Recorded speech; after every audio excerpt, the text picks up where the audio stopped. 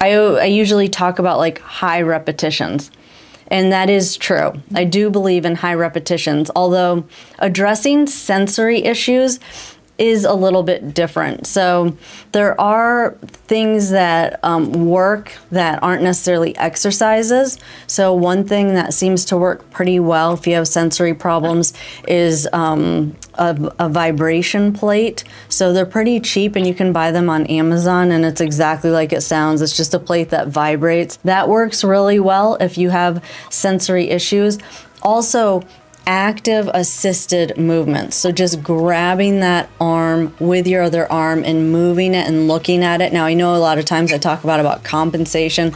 That's not really compensation in this case. Some of that's just inattention because of the damage to the one side of the brain. So just you actively using your strong arm to move that arm can sometimes help with that, as well as different sensations, rubbing, tapping, a massage gun. So, some patients have actually told me about that and how beneficial that has been in improving their sensation.